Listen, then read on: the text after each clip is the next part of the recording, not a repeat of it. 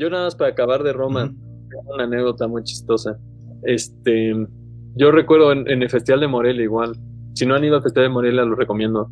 Siempre es un buen lugar para ver películas mexicanas este, que se van a estrenar o que es muy difícil ver.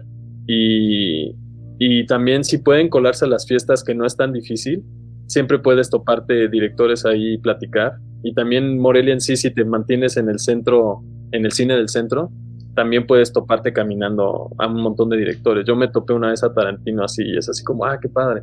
Entonces, y en una de las fiestas de Morelia, me acuerdo que entramos a una zona VIP y estaba Regadas hablando con Cuarón, con Alfonso, y justo acaba de estrenar Gravity y yo los estaba viendo y estaba, pues el que acababa de ganar mejor director en Cannes, el que yo sentía que iba a ganar mejor director en los Oscars, que después sí ganó, y estaba regadas regañando a Cuarón sobre Gravity diciendo que era una mierda y no sé qué cosas.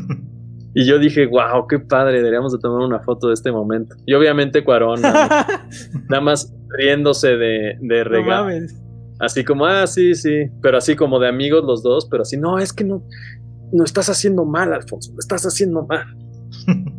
y en esa misma... en, esa en una de las fiestas me topé a Carlos Cuarón, que lo conozco más, y de repente Carlos lo, unas, unas, unas chicas llegaron y le dijeron, ay, tú eres Carlos Colombo, nos podemos tomar una foto. Y estábamos hablando Carlos, yo y estaba regadas ahí. Y de repente le piden a regadas que tome la foto. y también fue así como, esto nada más pasa en Morelia, así.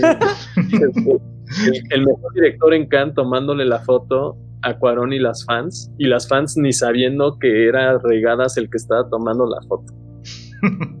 Aprovechen festivales de cine, es muy chistoso eso cuando pasa. Es que, es que Carlos Cuarón hizo Rudy Curse. Y Rudy Curse siempre es lo mejor. A mí también me gusta. pues es una anécdota chida, la neta.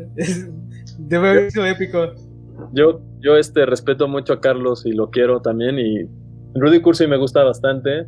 Besos de azúcar me gusta menos.